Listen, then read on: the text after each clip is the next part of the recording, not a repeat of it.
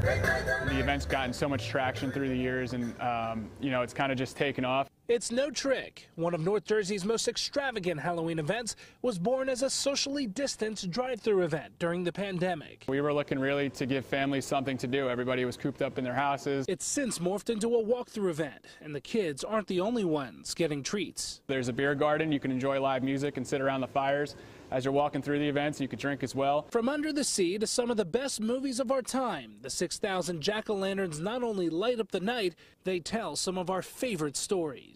Oh yeah, I mean, the, just the creative nature of, of what happens is pretty incredible, right? I mean, you've seen the detail as you're walking through the trail, the detail from the uplighting to the lights that are in it to just the hand carvings, you know, to make the, the jack-o'-lanterns come to life is uh, it's pretty incredible. So who is the jack of all trades behind these jack-o'-lanterns? We want to blow them out of the water. Jack-o'-lanternjourney.com is a group of artists that travel around the country to hand carve and hand ink jack-o'-lanterns. For Skylands Stadium, they left no gourd behind. Normally we'll do 5,000, but they have a particularly large venue in the stadium with all the seating. It gives a great opportunity to have an extra push of jack-o'-lantern content. And we take these spaces and we transform them into pumpkin wonderlands. Now tickets start at $24 a person. You can get them online. To find out how, you can visit our website pix11.com.